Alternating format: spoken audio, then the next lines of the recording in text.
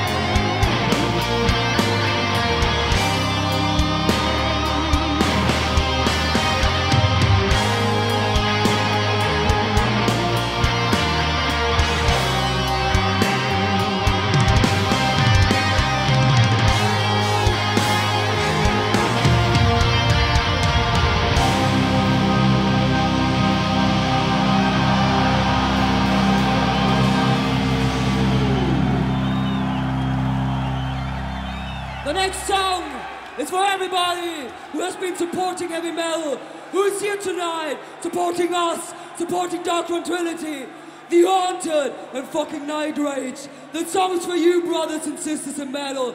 It is called We Will.